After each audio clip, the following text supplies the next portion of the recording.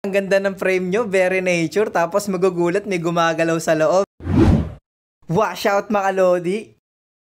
Okay, mag encloscaping na tayo ulit mga Lodi. Yung Japanji nakakamult lang ang ilalagay natin sa Pets Exoprime enclosure. Alam niyo naman kung mag-encloscape tayo, laging bioactive, pero this time gagamit tayo ng fake plants. So, ayan lang ang materials natin, fake plants, moss, and terravines. Very basic mga Lodi. Tignan natin kung ano makakaya natin. So, gina agad natin to. Unahin na natin tong parang ferns, ikabit lang natin na parang ganito. Dahil fern siya, kailangan mukha siya nakatanim sa baba. Ayan, parang ganyan. Tapos lalagyan natin siya ng moss sa ilalim. Ayan ay magiging substrate natin at the same time para matakpan yung stem ng fake plants. O, ba? Parang tumubo lang yung halaman, hindi parang tinurok mo lang. Next is yung ginupit natin na terravines, lalagay lang natin na parang ganyan. Gawin natin yung tipong magmumukha siyang baging talaga. Yung ganto, sa labit sa labit, nagdikit na rin ako ng bark para hindi masyadong plain yung gitna. Tapos dahil vines yan, nagdikit na rin ako ng fake plant vines. Lagyan ko na rin ng moss bawat stem para hindi mo kang tumubo kung saan. Last, yung sticker ni Pets Coco Friend na 2024. Ayan, kasama tayo pati si Skitso Pelma TV. Shee! Ito na ang first ever frame enclosure mga Lodi with setup. Partida fake plants pa yan, di ba? Not bad. Pag may bumisitang tropa mo, sabihin ang ganda ng frame nyo, very nature. Tapos magugulat, may gumagalaw sa loob.